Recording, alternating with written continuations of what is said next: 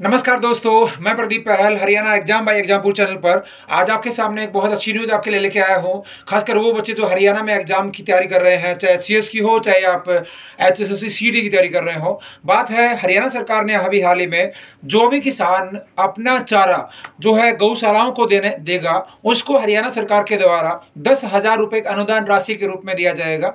मतलब ध्यान से सुनिएगा, जो किसान हरा चारा जो है, अपने गौशालाओं को जो है देने वाला है, उसको दस हज़ार रुपये दिया जाएगा। लेकिन एक और बात ध्यान रखिएगा, एक किसान अधिकतम दस एकड़ ज़मीन का ही चारा जो है वो गौशालाओं को दे सकता है। बात करता हूँ, जब मैं गौशालाओं की तो इंडिया में, हरियाणा में पहली गौशाला रेवाड़ी में शुरू की गई थी। और सबसे ज़्यादा गौशालाएँ जो पड़ती हैं, वो आपको सिरसा में पड़ती हैं। इसका मतलब सर्वाधिक गाँव की संख्या भी आपको जो है सिरसा में देखने को मिलेगी, हरियाणा की। जब हम बात करेंगे कि पूरे वर्ल्ड में गाय कहाँ ज़्यादा मिलती हैं तो आप बात करेंगे तो ब्राज़ील में सर्वाधिक, इंडिया का स्थान दूसरा है। लेकिन इंडिया में सर्वाधिक गायों की संख्या कहाँ मिलती है? तो उसका आंसर आप देने वाले होंगे पश्चिम बंगाल में।